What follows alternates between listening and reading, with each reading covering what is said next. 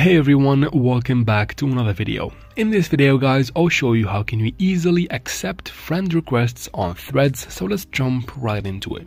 First of course you open your Play Store or App Store to make sure we have the Threads app updated to the latest version for everything to work properly and to face no problems in the app. After that open Threads and of course you have to be logged in to your account as you can see guys.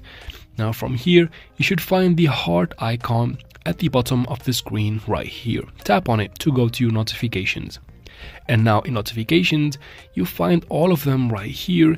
Now if you want to only filter out the friend requests, go ahead and tap on requests that should be in the top right next to all. And here you find all the friend requests that you have ever received on threads. Now if you want to accept or confirm any, just tap on confirm right next to the username of the person that you want to accept the friend request from. Now if you want to delete a friend request, tap on the X button that should be next to confirm.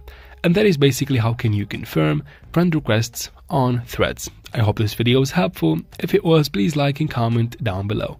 Don't forget to subscribe for future videos like this one. And as always, thank you very much for watching.